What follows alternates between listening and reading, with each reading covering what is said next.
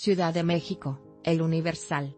Guión el sistema de transporte colectivo, STC, Metro informó que fue controlado un conato de incendio de equipo eléctrico en la interestación de Villa de Cortés, en la línea 2, este martes por la mañana.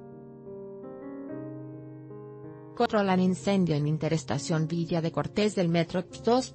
barra barra y 82 Euget Videocámara, arroba Arturo 8057 pic.twitter.com barra SDP Noticias, arroba Noticias, 6 de noviembre de 2018 a través de su cuenta de Twitter arroba Metrox, destacó que no hubo riesgos para los usuarios, y dio a conocer que la marcha de los trenes es lenta y, en breve, se normalizará el servicio.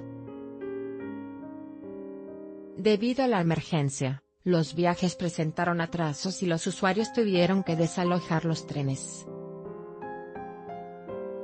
Por su lado, el Centro de Comando, Control, Cómputo, Comunicaciones y Contacto Ciudadano de la Ciudad de México, C5, reportó que el cortocircuito fue sobre calzada de Tlalpan y Avenida Santiago, Colonia Iztaccíhuatl, en la alcaldía de Benito Juárez, donde los bomberos controlaron la situación. Emetra agregó que para facilitar los traslados se restablece servicio provisional de sol a cuatro caminos de la línea 2, sin embargo, no se tiene servicio de Villa de Cortés a Tasqueña.